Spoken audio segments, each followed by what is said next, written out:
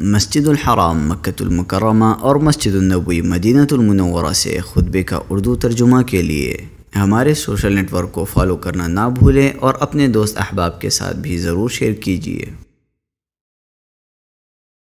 खुतब जुमा मस्जिद नबवी शरीफ बतारीख बारह रजब चौदह सौ चवालीस हिजरी व मुताबिक तीन फरवरी दो हज़ार तेईस खतीब फजीलत शेख अब्दुलबारी बिन अवाद असुबैती तर्जमा बआवाज अताउल्लाह बिन अब्दुल मजीद तमाम तरीफे उस अल्लाह के लिए हैं, जिसने मोमिनों के दिलों में खशियत और रिक्कत इलाही पैदा की। और मैं गवाही देता हूँ कि अल्लाह रब्बुल इज़्ज़त के सिवा कोई मबूद बरहक नहीं है। और मैं गवाही देता हूँ कि हमारे नबी सरदार मोहम्मद सल्लल्लाहु अलैहि वसल्लम, उसके बंदे और रसूल हैं। अल्लाह ताला दरूद सलाम नाजिल फरमाए नबी सल्लल्लाहु अलैहि वसल्लम पर, आपकी आल पर और सहाबा किराम पर। हम दो सलात के बाद मैं अपने आप को और आप सबको अल्लाह ताला के तकवा की वसीयत करता हूँ। इरशाद बारी ताला है, सच्चे मोमिन तो वो है, जब उनके सामने अल्लाह का ज़िक्र किया जाए तो उनके दिल काँप उठते हैं, और जब अल्लाह की आयात उन्हें सुनाई जाए तो उनका ईमान बढ़ जाता है, और वो अपने परवरदिगार पर भरोसा रखते हैं। ये उन दिलों की नमाया सिफ्त और बुलंद मुकाम मरतबा बयान किया गया है।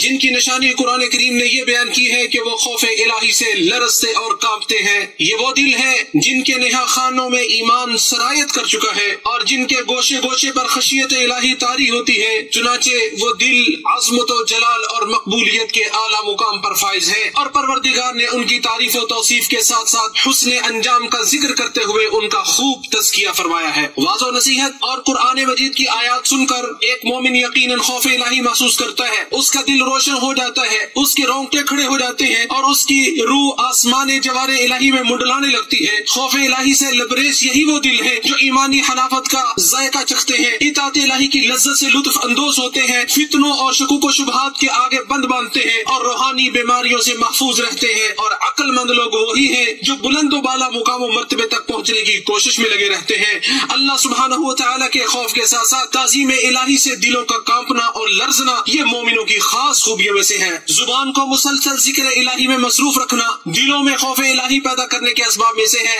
इसी में दिलों की तहारत और पाकि, जिस्मों की इसलाह, नफूस का तस्किया और सरगोशियों की हलावत मुजमर है, इर्शाद बारी है। और आज सी करने वालों को खुशखबरी सुना दीजिए, वो लोग हैं कि जब अल्लाह का ज़िक्र किया जाता है तो उनका दिल डर जाते हैं। जब उन्हें वाजो नसीहत की गई तो उन्होंने इससे कबूल किया और जब उन्हें डराया गया तो वो डर गए। इसीलिए उनके दिल खौफ इलाही से लर्जने वाले बन गए। असकार में से सबसे अजीम ज़िक्र अल्लाह रब्बुल इज़्ज़त की किताब कुरान करीम की तिलावत है और उसकी आयात को खूबसूरत लबो लहजे में गुनगुना कर पढ़ना है, जैसा की शादी वाली ताला है। अल्लाह ने बेहतरीन कलाम नासिल किया, जो ऐसी किताब है जिसके मजामी मिलते जुलते और बार बार दोहराए जाते हैं, जिनसे उन लोगों के रोंगटे खड़े हो जाते हैं, जो अपने परवरदिगार से डरते हैं। फिर उनकी जिल्दे और उनके दिल नरम होकर अल्लाह के ज़िक्र की तरफ़ रागिब हो जाते हैं। जो शख्स पूरी तवज्जो से किताबुल्लाह को पढ़ेगा अपने सीने को उसके लिए कुशादा करेगा और उसी के मुताबिक ज़िंदगी बसर करेगा। उसका दिल नरम पड़ जाएगा, उसमें खौफ इलाही पैदा होगा और उसका ये अमल अल्लाह ताला की खशियत और उससे शर्म हया का सबब होगा और ईमान में इजाफे का सबब भी बनेगा। अगर हमने दिल को ऐसी चीज़ों से भर रखा है जो दिल के दरमियान और नसीहत इलाही से फैजियाबी के दरमियान रुकावट है तो दिल की हयात बका और उसकी खशियत और इकत की हम कैसे तमा कर सकते हैं? इरशाद बारी ताला है, और जब भी कोई सूरत नाजल की जाती है तो उनमें से कुछ लोग ऐसे हैं जो कहते हैं, इसने तुम में से किसको ईमान में ज़्यादा किया है। बस जो लोग ईमान लाए, सो उनको तो उसने ईमान में ज़्यादा कर दिया और वो बहुत खुश होते हैं। अगर आप अपना दिल कुरान के पास नहीं पाए तो कहाँ पाएँगे? अगर आप वाजो नसीहत को और कुरान का असर अपने दिल में महसूस न करें तो उसका सबब तलाश करके उसकी बीमारी का इलाज कीजिए। इर्शाद बारी ताला है और ये मिसालें हैं जो हम लोगों के लिए बयान करते हैं और इन्हें सिर्फ़ जानने वाले ही समझते हैं। शायरुल्लाह की ताजीम और तोकीर करना दिलों में खौफ इलाही पैदा करने के असबाब में से है। इनकी ताजीम दर हकीकत हुक्म इलाही की ताजीम है, क्योंकि हर वो चीज़ अजीम है जिसकी अल्लाह और उसके रसूल ने अजमत बड़ाई बयान की है और उसकी ताजीम और तोकीर करना दिलों की सालमियत और दुरुस्ती की अलामत है। इर्शाद वाली ताला है, जो अल्लाह के नाम की चीज़ों की ताजीम करता है तो यकीन ये दिलों के तकवा से है। जो शख्स अल्लाह के शायर की ताजीम करता है, अल्लाह ताला उसे तकवा की दौलत से मालामाल कर देता है, क्योंकि ये ताजीम दिल में मौजूद अल्लाह के डर और खौफ से ही सादर होती है। खौफ इलाही पैदा करने के असबाब में से यह भी है, दिल को उस इलम का मरकज बनाया जाए, जो इलम असमाय हुसना और सिफात उलिया के ज़रिए इंसान को मार्फत इलाही तक पहुँचाता है। इरशाद बारी ताला है, और ताकि वो लोग जिन्हें इल्म दिया गया जान ले कि बेशक वही तेरे रब की तरफ़ से हक है। तो वो उस पर ईमान ले आए। बस उनके दिल उसके लिए आजिज हो जाए। चूँकि नबी सल्लल्लाहु अपने परवरदिगार को सबसे ज़्यादा जानने वाले थे, इसलिए सबसे ज़्यादा अल्लाह ताला से डरने वाले भी थे। इरशाद ताला है, अल्लाह से तो उसके बंदों में से सिर्फ़ जानने वाले ही डरते हैं। दिल में खौफ इलाही पैदा होने के असबाब में से ये भी है कि आदमी तोबा करने में बिल्कुल गफलत न बरते, मुसलसल इस्तीफार करता रहे और अल्लाह की तरफ़ लौटने में जल्दी करे, क्योंकि दिलों की पाकिजगी बख्शने वाले उन अमूर के बगैर दिल में कभी खौफ इलाही पैदा नहीं हो सकता। भला बीमार दिल में खौफ इलाही कैसे पैदा हो सकता है? और गाफिल दिल में खशियत इलाही कैसे पैदा हो सकती है? इर्शाद बारी ताला है, अगर तुम दोनों अल्लाह की जनाब में तोबा करो तो बेहतर। वरना तुम्हारे दिल तो माइल ही हो चुके हैं। और दूसरी जगह इर्शाद बारी ताला है, बेशक जो लोग अल्लाह से डरते हैं, जब उन्हें कोई खतरा शैतान की तरफ़ से आता है तो वो याद में लग जाते हैं, फिर अचानक उनकी आँखें खुल जाती हैं। नेकी और भुलाई के काम करने, बख्शिश और खैरात करने को मामूल बनाने और तरह तरह के एहसानात करने से भी इंसान का दिल नरम होता है। इसमें रिक्तत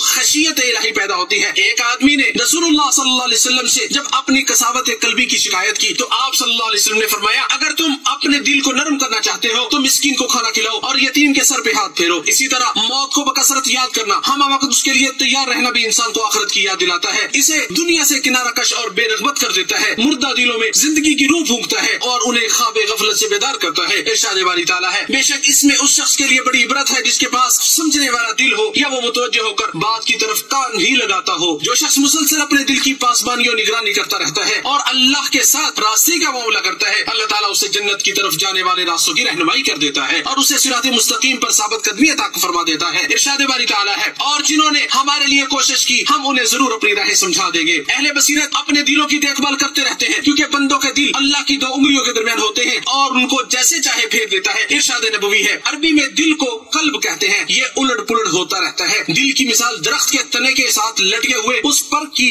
मानिंद है, जिसको हवा उल्टा सीधा करती रहती है। सबसे ज़्यादा मार्फत इलाही रखने वाले हमारे प्यारे नबी सल्लल्लाहु अलैहि वसल्लम भी दिल के फिरने से खौफ खाते चुनाचे आप सल्लल्लाहु अलैहि वसल्लम हमेशा अपने दिल की साबित कदमी की दुआ फरमाते और कहते ए दिलों को फेरने वाले, मेरे दिल को अपने दीन पर साबित कदम रखना। भला बताइए, दूसरे लोगों की क्या हालत होनी चाहिए? जब अल्लाह ताला अपने बंदे को इस बात की तोफीक देता है कि वो अपने दिल में खौफ, इलाही और तकवा को पैदा कर ले तो अनकरीब वो उसका फल हासिल कर लेगा और बड़े इतमान और सलामती के साथ उसे तोड़ेगा और दुनिया और आखिरत में बेहतरीन और खुशगवार ज़िंदगी दरअसल दिल में खौफ, इलाही के समारात में से है। ऐसे लोग बरोजे क्यामत कहेंगे, जैसे कि शादी डाला है कहेंगे, हम तो इससे पहले अपने घरों में डरा करते थे, बस अल्लाह ने हम पर एहसान किया और हमें लो के आजाब से भी बचा लिया। दिल में खौफ इलाही के समारात में से रब से सरकोशी की लज्जत और उससे मानूसियत के सिवा अगर कोई और चीज़ हासिल ना भी हो तो यही सबसे बड़ी खुशी और सबसे बड़ी कामयाबी है। इशाद वाली ताला है क्या काफिर बेहतर है या जो रात के औकात में सजदा और क्याम की हालत में इबादत कर रहा हो, आखिरत से डर रहा हो और रब की रहमत की उम्मीद कर रहा हो। कह दो, क्या इलम रखने वाले और बे इल्म बराबर हो सकते हैं? समझते वही है जो अकल वाले हैं। जब उन्होंने अपनी राहत और सुकून की लज्जत को रब की खातिर कुर्बान किया तो अल्लाह ने उन्हें अपनी इताद और फरमाबरदारी की मिठास और अपने साथ सरगोशी की लज्जत से सरफराज कर दिया। इरशाद वाली ताला है। अपने बिस्तरों से उठकर अपने रब को खौफ और उम्मीद से पुकारते हैं और हमारे दिए हुए इसमें से कुछ खर्च भी करते हैं। दिल की खशियत के समारात और फवायद में से ये भी है कि इंसान को खैर भलाई की तरफ़ सबकत करने और अल्लाह की पुकार पर लब्बई कहने पर उभारती है। चुनाचे जब जकरिया अलैहिस्सलाम ने अपने परवरदिगार को पुकारा, ए मेरे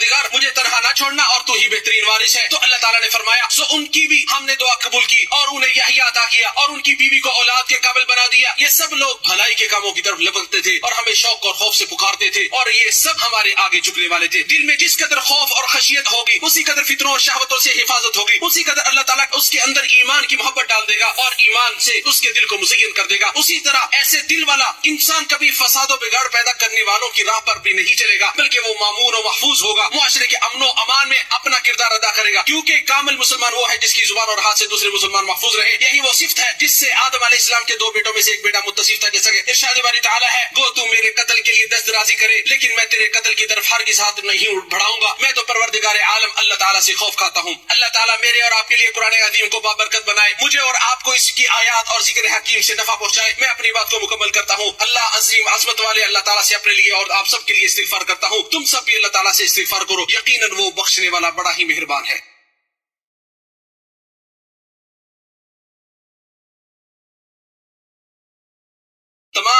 उस अल्लाह के लिए है, जिसकी तारीफों की कोई इंतहा नहीं है। और मैं गवाही देता हूँ कि अल्लाह के सिवा कोई मबूद बरहक नहीं है। जिस मालिक ने मोमिनों के लिए जन्नत का वादा किया है, और मैं गवाही देता हूँ कि मोहम्मद उसके बंदे और रसूल हैं, जो चुने हुए पैगंबर हैं, और अल्लाह ताला आपकी आल और सहाबा कराम पर भी रहमत नाजिल फरमाए। हम दो सलाद के बाद मैं अपने आप को आप सबको अल्लाह ताला से डरने की वसीयत करता हूँ। दिल का खौफ और डर मखलूकत पर रहम करम करने, और दूसरों को शिद्दत और सख्ती के बावजूद तो लुत्फ नरमी का मामला करने पर आमादा करता है। और ये इंसान को रहमत इलाही का मुस्तक भी बना देता है। रसूलुल्लाह सल्लल्लाहु अलैहि वसल्लम ने फरमाया, रहम करने वालों पर रहमान रहम फरमाता है। नीज ये भी फरमाया, तुम ज़मीन वालों पर रहम करो, आसमान वाला तुम पे रहम करेगा। लोगो, अल्लाह रब्बुल इज़्ज़त, मालिक कायनात ने अपनी किताब में तुम्हें हुक्म दिया है, अल्लाह के बंदो, नबी सल्लल्लाहु अलैहि वसल्लम पर दुरूद सलाम पढ़ो। अल्लाह उसके फरिश्ते उन पर दुरूद सलाम पढ़ते हैं। ए ईमान वाले, तुम भी उन पर दुरूद सलाम भेजा करो। ए अल्लाह मोहम्मद और आपकी आल पर अल्लाह दुरूद सलाम नाजिल फरमा जिस तरह तूने इब्राहिम और आल इब्राहिम पे नाजिल फरमाई। और अल्लाह मोहम्मद और आपकी आल पर बरकत नाजिल फरमा। जिस तरह इब्राहिम और आल इब्राहिम पर अल्लाह तूने बरकत नाजिल फरमाई। ए अल्लाह, मैं तुझसे